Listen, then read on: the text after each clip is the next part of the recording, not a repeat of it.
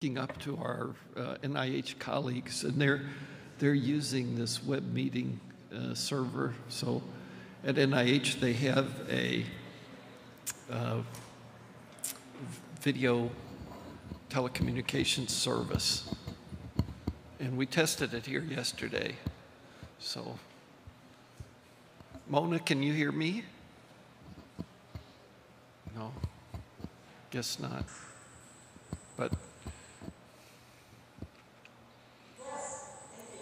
Oh, you can hear me. Yeah. Yes, good morning and uh, good morning and welcome. Uh, we're all convened here.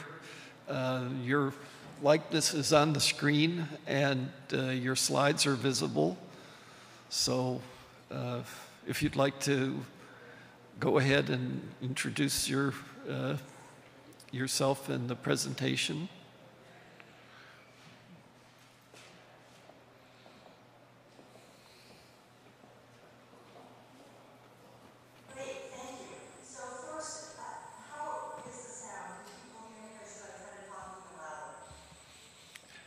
Uh, we can hear you well.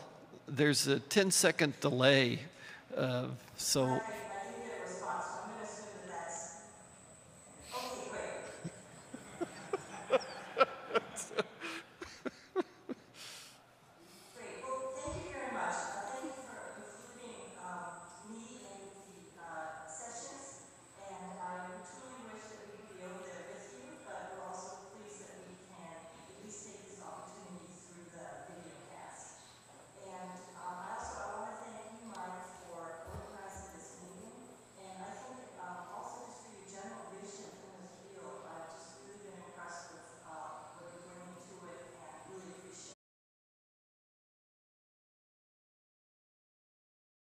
Um, also, just for your general visions in this field, I've just really been impressed with uh, what you're bringing to it and really appreciate that. So I'm Mona Hicks. I'm a program director at the National Institute of Neurological Disorders and Stroke, and I'm one of the people that's working on this FITBIR. Uh, we're calling it a platform for international collaboration. And um, if you're like me, when I uh, was, an, you know, an, a research scientist at an academic institutions, and I'd hear people from different funding agencies come and tell me what things were going on and what they were doing, I would often think, well, that's all well and good, but what's in this for me? So I thought, well, I'd try to start right out with that. What, what's in this, this uh, informatics system for you? And what I'm trying to depict with this picture is that actually at this moment in time, there really there's nothing in there for you. Uh, the cupboard is bare. We are are just developing the system, and we don't actually have uh, data in there right now for you to use. Uh, but but coming soon, what we're hoping is actually to have a very rich set of uh, data on traumatic brain injury research data, high quality, that uh, scientists like you could access and uh, hopefully work in collaboration with the people collecting the data to find answers to really complex questions. So this slide says big data. Big data is a term a lot of people are using. Maybe this isn't big data, maybe this is almost big data, but it's going to be some of the biggest data sets that um, are available on traumatic brain injury. So for us, it's, it's, a, it's big. And what's in it for us as the funding agencies? Uh, for, for us, we're really very interested in accelerating knowledge on traumatic brain injury. It's a, it's a major problem, and we see this as a way to get answers faster and help uh, people with traumatic brain injury improve uh, better and have better outcomes. And as you probably know from some of the earlier sessions and maybe your own research, uh, traumatic brain injury is a major public health problem. And it's a very complex problem because it affects people of all ages. The severities of the injury can be very, very mild to devastating to, to actually death. There's multiple causes and there's multiple types of injuries to the brain. And there's also variable outcomes. So we have a lot of moving parts that make this a very complex problem. And uh, the diagnostic and prognostic tools, once again, as you probably all know, are, are insufficient. We're unable to detect people that have mild injuries. Right now, it's basically sort of an occult injury. These people tend to live, so we, we have very limited knowledge about what actually the injury to the brain is. We aren't uh, very good at predicting who's going to have good and bad outcomes. And um, we're not good at monitoring response to treatments. So we, we there's many gaps in our tool sets. This is a way we're hoping to um, improve some of those. There's lots of treatments, um, but they lack solid evidence. This is something that Andrew might have mentioned earlier today. And the, the randomized controlled trials aren't succeeding.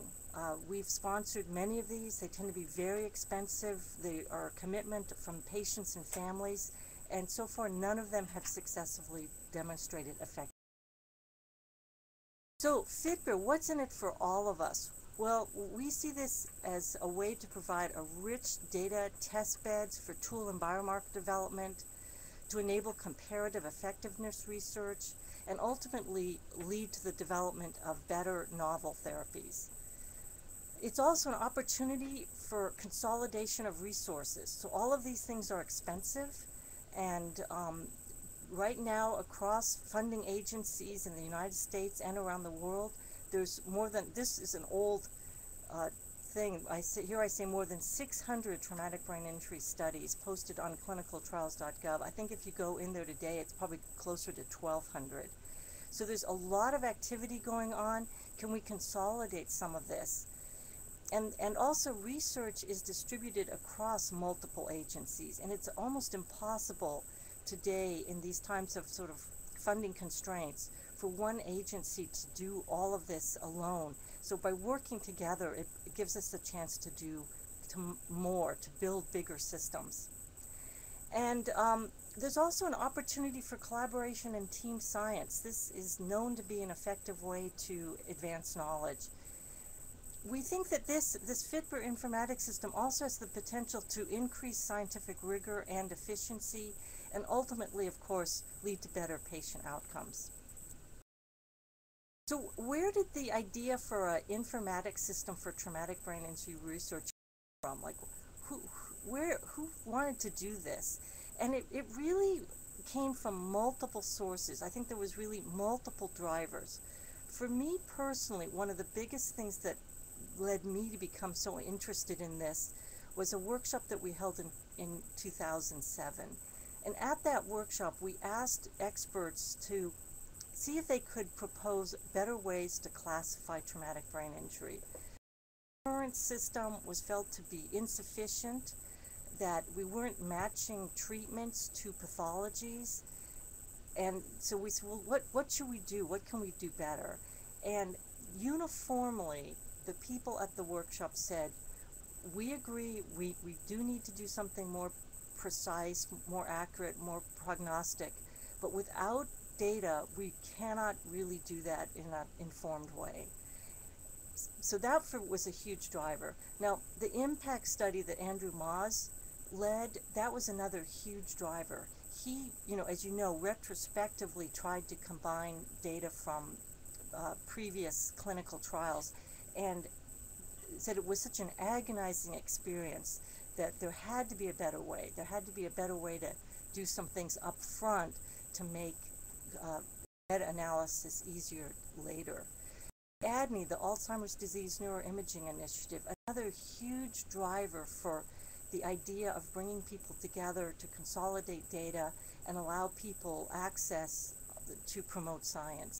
NDAR, the National Database for Autism Research, this was a sort of a forerunner to the FITBIR system. It allowed us to get this system up and running much faster than if we started de novo.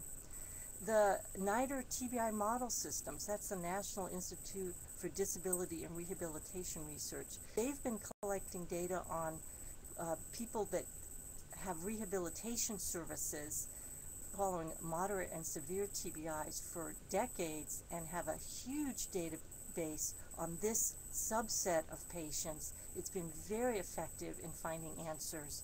So that was another thing that said this is a good idea, we should do it. The International Common Data Element Project for TBI, this was another, truly an international effort to come up with um, standardized definitions and data coding, and it this is pr uh, providing the data dictionary for FITBIR. And uh, another study that has helped is well, we tested that. We said, well, these common data elements, can anyone actually use them? Are they feasible and are they informative? And so a pilot study called Track TBI that was led by Geoff Manley has gone through this process and has demonstrated that yes, they can be done and yes, they are informative. So all of these things were sort of the background and others as well that I'm not mentioning to building this informatics system. So finally, I'm going to tell you what it is. Well, it's a collaborative effort between the U.S. Department of Defense and NIH. It was launched in the summer of 2011, so we're two years in. And it's a, it's really an informatics system. We originally, I think I called it a database. That's what I thought it was, but it, it really is more. It's a it is a searchable, shareable clinical research. It also has other tools. It has electronic data collection tools. It has operational support. This is huge because um, it's one thing to build a system, it's another thing to actually help people use it and make it user friendly and you know able to do what you all need it to do. We also have um, groups of people that are serving on policy committees to provide policies and a governance committee for oversight. And we're hoping to bring in analytical tools so this can really be a very powerful system for users. So what are we aiming to do? Well, of course, facilitate meta-analysis, um, but also enable new analysis, the idea of the crowdsourcing, and um, also link seeming, seemingly disparate research. And I think here there's a lot of potential, a lot of excitement. Um, you know, we know that traumatic brain injury can happen to people of all ages. And people often tell me, they say, you know, traumatic brain injury in a child very different than in an adult. And that doesn't surprise me at all. But what we need to know is how is it different? And when do these transitions happen? You know, is a 12 year old different from a 15 year old? Is a two year old different from a five year old? That's the kind of thing we could get by um, consolidating data from people across all ages and starting to look at these differences. The time factor, there's huge concerns now that uh, traumatic brain injury may lead to neurodegenerative diseases over time. Where do you start? I mean, you, you just start looking at the 65 year olds? I mean, you know there's a continuum there. It's much like the Alzheimer's thing. You need to look at these things over that continuum. And of course, the severity you know, on the one end, we have people with very mild injuries, often called concussion, and people think, well, that's not the same as TB, severe TBI. Well, we don't really know. There, it could be very similar. Just you know that the magnitude is less, but the actual pathophysiological mechanisms are the same, or they could be different. So this once again allows us to bring this data in and start looking at across these multiple dimensions. So how, how is this going to work? Well, I think there's four important components. One is you need standardization, you need a technological infrastructure and support, but you also need governance and policies to ensure high quality data and reasonable access. And you need a collaborative research community.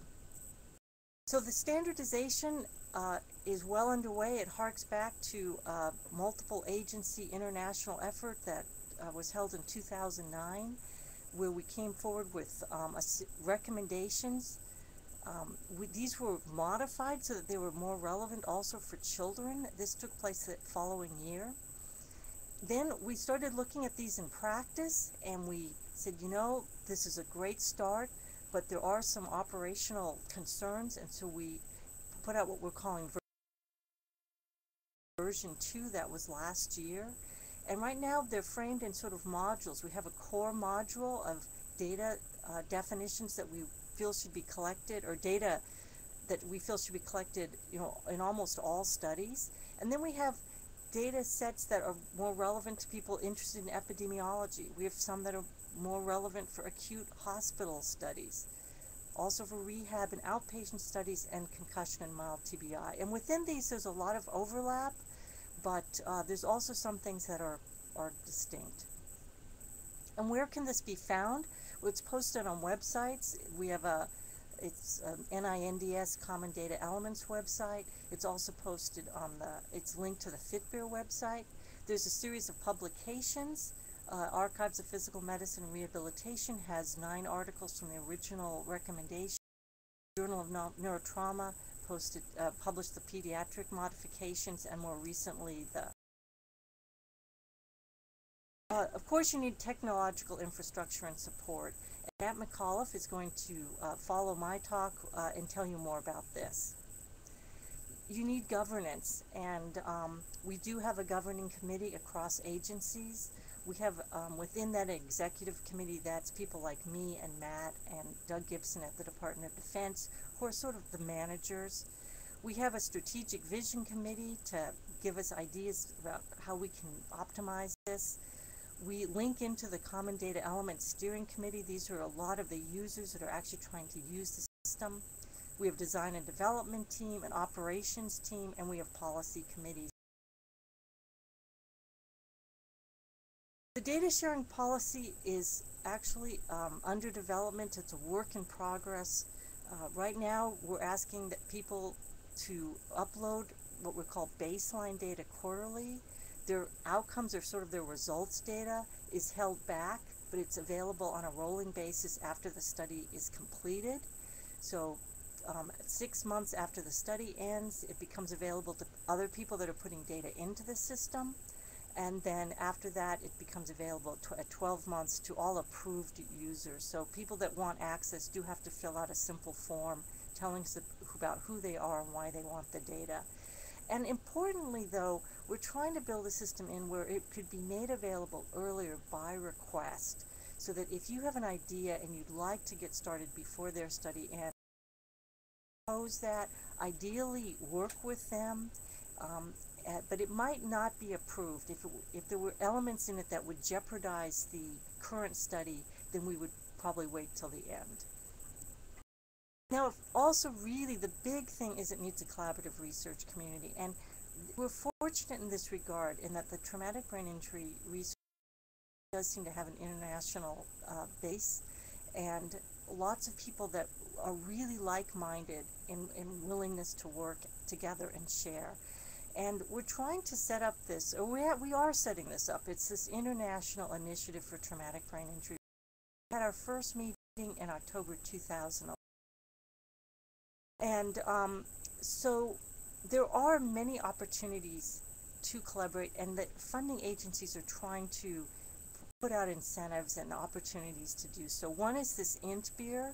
So there's a, a research initiative out there at this time. Grants are uh, under review, so we don't know which one will be selected, but there is funding for this international effort.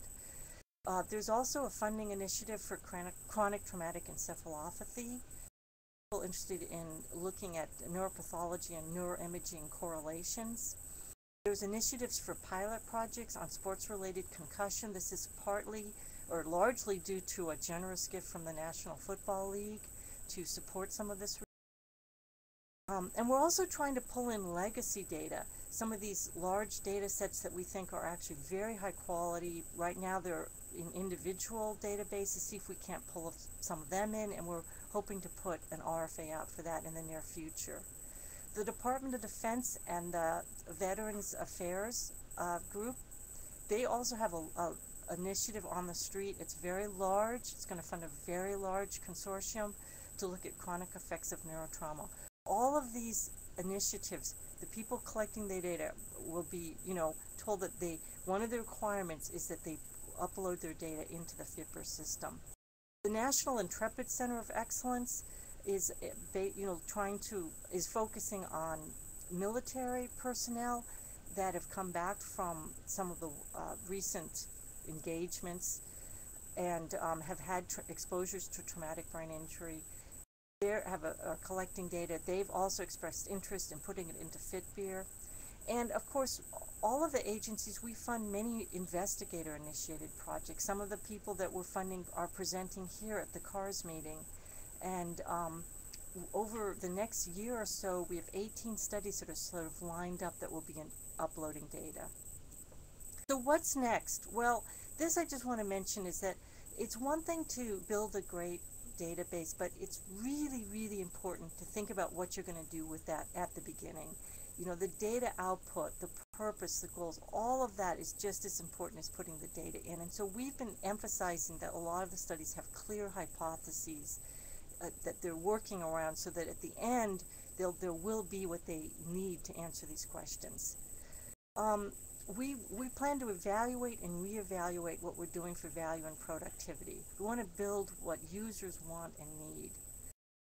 Plan to support some demonstration projects. Someone called me and said, you know, I have a small data set, but one of my um, friends also has a small data set, and if we put these together, because I think we have enough data to answer this question now. So this is the kind of thing that will clearly accelerate um, research. And so we want to find figure out a way to support that. We want to align with other databases and projects. And um, we also are trying to expand to include preclinical data for more of a, a translational pipeline. And so the vision, the vision is truly a knowledge network to accelerate research and inform TBI clinical practice. Uh, ultimately, it'd be great to actually be able to pull in data from um, actual practice. Uh, these are all sort of uh, aspirational goals at this time. And um, the last slide is FITBIR, a platform for international collaboration. Low-hanging fruit or reaching for the stars? And I, I ask this because on the one hand, I do see this as low-hanging fruit. I see this as one of the most obvious things that we should and could be doing to accelerate knowledge. But there's also huge, exciting things that we can be reaching for, biomarkers for traumatic brain injury, not going to be easy. This is a, a, a way to, to, help us get there. Um, comparative effectiveness research, not going to be easy, but this is a kind of platform that could could bring us answers to these things. So that's all I have. I I think I used up